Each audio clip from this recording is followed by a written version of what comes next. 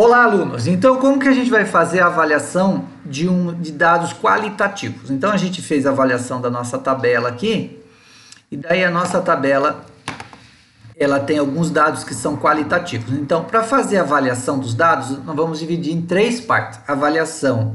Esse primeiro vídeo vai ser como fazer a avaliação de uma, de, de uma variável qualitativa. Depois a gente vai ver que é igual para nominal e ordinal.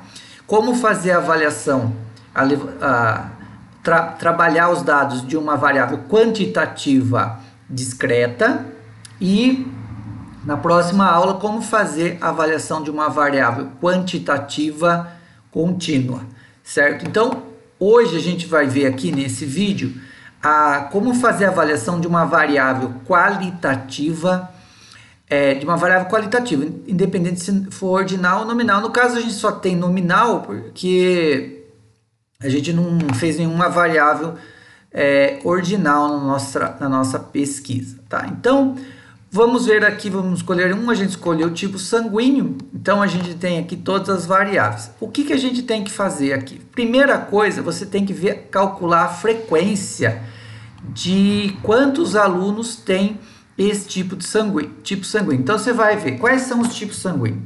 Nós temos o tipo A, o tipo B, o AB e o O. E também tem aqueles alunos que não responderam, sem informação, e a gente coloca aqui o total, total de alunos que participaram. Então, qual é a frequência? Então, quantos alunos A tem dos nossos 52 alunos que fizeram a pesquisa? Quero saber quantos alunos tem o tipo A. Então, eu, quem for fazer de forma manual, é, vai ter que contar um a um. Então, eu tenho lá um, dois, três, quatro, cinco e assim por diante. Como e os alunos que forem usar o Excel, vocês vão vir aqui, é, clica no quadradinho aqui da frequência, né? Eu quero calcular frequência, quantidade de alunos do tipo A, quanto que isso se repete. Eu vou em função aqui, ó, fx, seguir função, vou escolher aqui a categoria estatística e conte-C.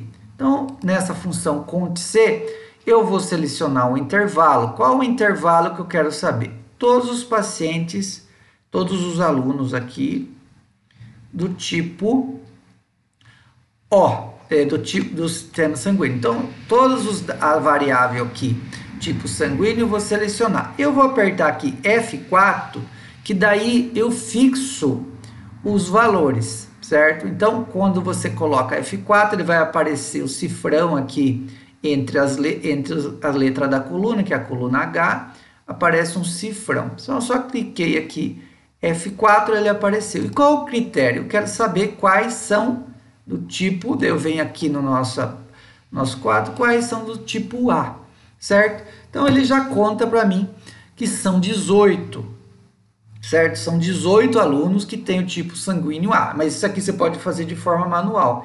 No Excel, feito isso, selecionar, eu só clico aqui do ladinho, o maisinho aparece, eu arrasto para cá, ele já vai me dizer que tem 3B, 4AB, 20O e 7 sem identificação. Eu vou colocar aqui, posso colocar soma disso, igual soma, e vou selecionar quantos alunos, seleciono a minha coluna inteira aqui, quantos alunos participaram dessa pesquisa e deu, eu coloco igual soma, não preciso selecionar, é só vir aqui, pegar a quantidade de aluno e tá, deu 52 alunos que participaram. Então, dessa forma, eu tenho a frequência de alunos. Como que eu calculo a frequência relativa? Eu pego a frequência e, e divido pelo tamanho da amostra. Então, eu vou pegar aqui a frequência de tipo A e vou dividir pela, pelo total de alunos, certo? Então, vou fazendo um a um, eu vou ter lá 0,34 a minha frequência relativa. Então, eu vou fazendo isso um por um. Eu posso usar a fórmula do Excel ou posso fazer um por um, dividido pelo total de alunos.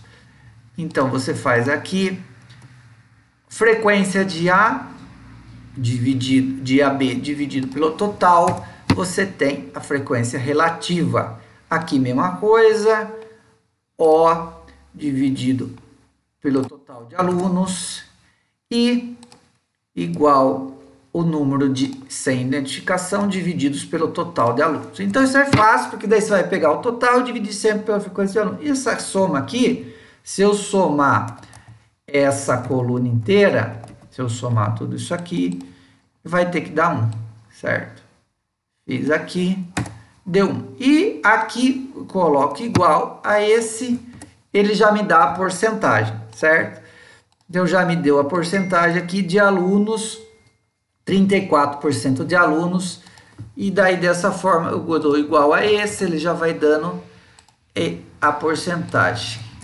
É só você pegar esse número aqui e multiplicar, que o Excel ele faz essa correção automaticamente. Mas é só você pegar esse valor e multiplicar por 100. 0,34 vezes 100 dá 34%. Dessa forma, a soma da porcentagem aqui tem que dar quanto? Se é 100%, tem que dar 100.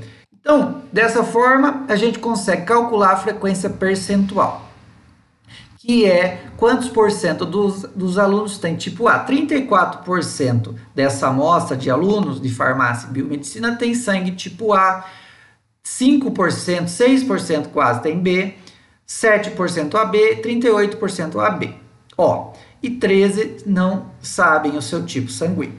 Dessa forma, aqui também já dá a probabilidade. Se você encontrar um aluno da sua sala, é, a chance dele ser do tipo A é de 34% e a probabilidade dele ser do tipo O é 38%. Então, se você perguntar para um, qualquer aluno da sua sala, quase 80% da sua sala, é, é, em torno de 75%, ou é A ou é O dos alunos. Então, você pode fazer também a frequência acumulada tá? Dessa forma, a gente viu como fazer a avaliação de uma variável qualitativa. Nós vamos pegar a variável, achar a frequência, quantos alunos tem dessa frequência, achar a frequência relativa, que é simplesmente diminuir, dividir a frequência pelo total da amostra e depois só multiplicar por 100, eu tenho minha variável percentual.